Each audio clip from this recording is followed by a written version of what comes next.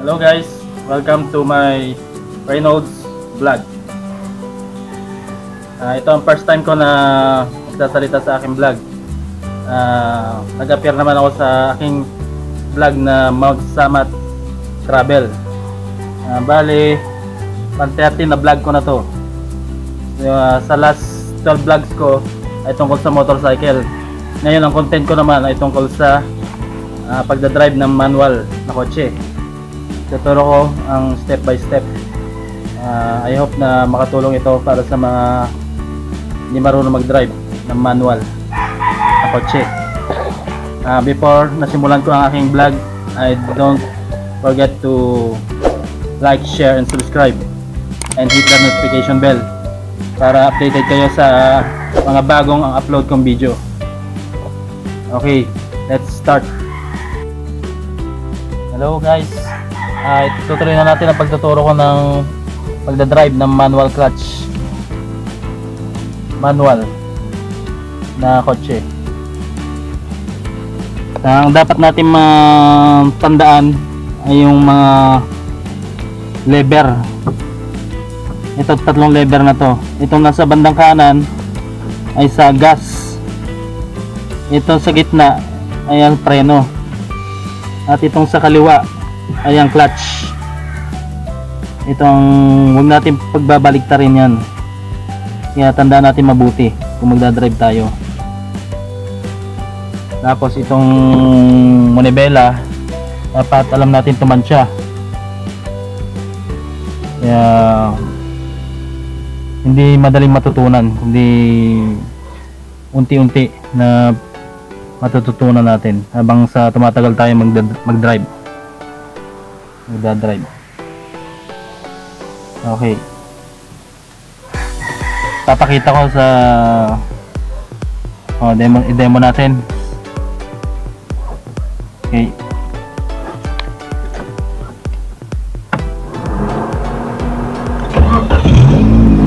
Yan, start ko na, engine. Ah, ito pala. Dapat din natin matutunan tong cambio niya. Patayin mo natin to engine para marinig natin mabuti. Ito. Itong sa bawat pagpapalit natin ng gear o itong cambio ay apakan natin ng clutch. Apak ng clutch ah, primera. Nakikita naman natin dito yung gear. Ito yung primera, segunda primera yung first gear, second gear, third gear, fourth gear, hanggang fifth gear. Tapos itong sa baba, reverse. I-demo natin isa-isa. Ah, apak muna ng clutch.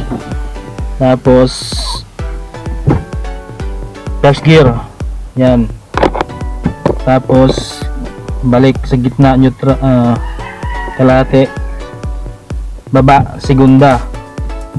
Tapos ibalik natin sa gitna, neutral. Sa taas, tercera o third gear. Tapos balik natin sa gitna, neutral. Baba, fourth gear o kwarta. Tapos balik ulit natin sa neutral. Hawiin natin sa kanan. Tapos taas. Yun ang fifth gear o kinta. Tapos pagbabalik natin sa gitna. Yan. Tapos yan neutral na. Yung pinaka huli ay ang reverse. Yan naka reverse na siya. Kaya wag natin kakalimutan na ang clutch laging nakadiin yun bago tayo magpalit ng gear kasi hindi siya papasok pag hindi natin napakan ang clutch lever. Eto. Itong one na to ito ang handbrake. Para kung paparada tayo sa isang incline o yung matas na lugar. Hindi siya dumuslos yan simulan na natin. Pagdadrive start the engine. Oh,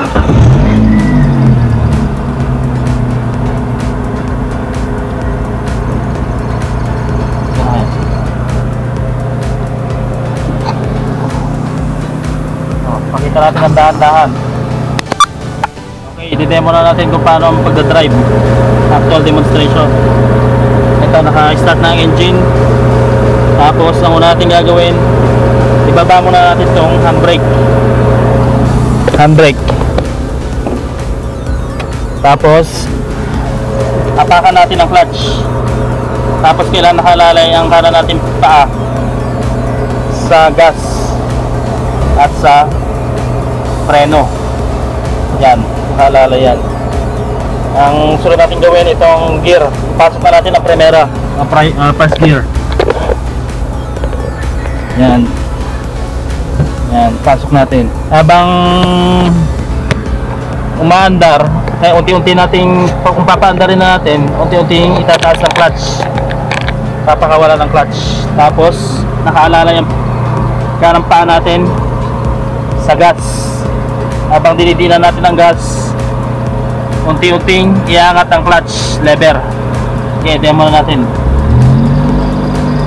Yan nakalalay ang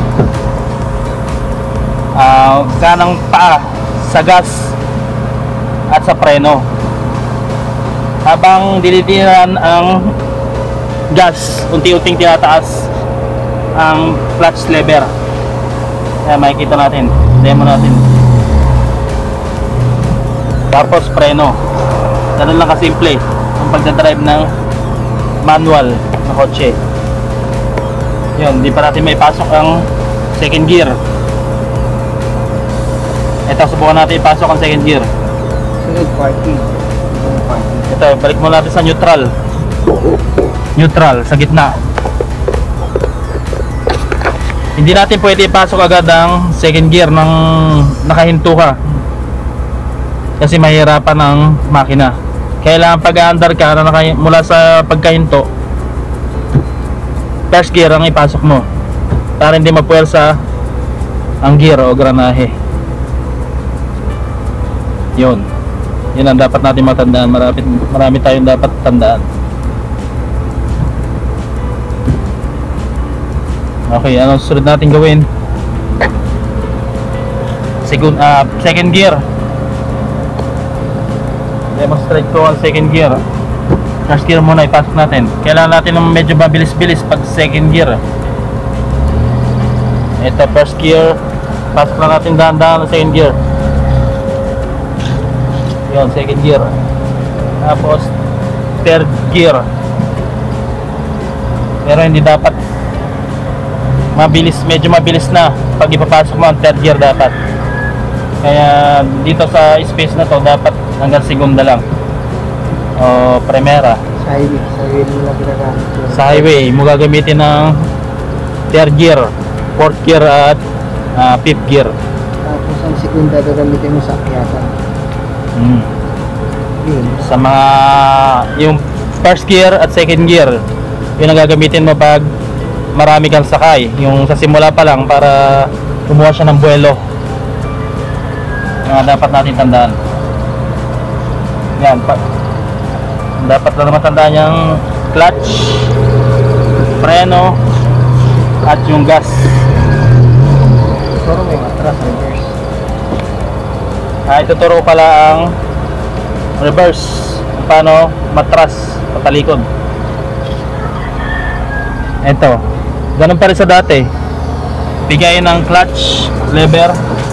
Tapos dito. Ito reverse. Ipihit natin ng kanan pababa. Yun ang reverse ganun pa rin sa dati. Unti-unti mong iangat ang clutch na nakaalalay ang gas. Yan, unti-unti lang. Yan. Yan yung kadali. Yan, gagawin natin ng mabilisan. I-demo ko ng mabilisan.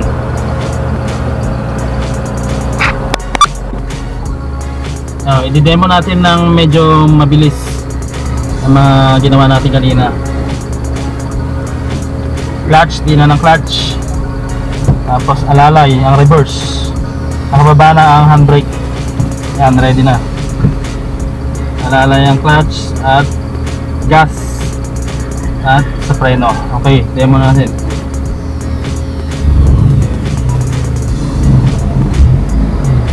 Yan medyo mabilis tayo sa palatras alalay ng preno at clutch. Yan. Tapos abante. Medyo mabilis. Pasok natin ang primera segunda. Preno. Yan kailangan alerto tayo sa preno. Tapos reverse ulit tayo.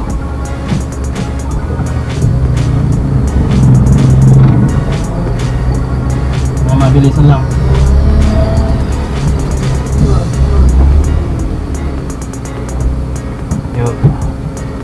tapos ganun uli ganun lang. Kailangan mag-alerto tayo sa mga gear.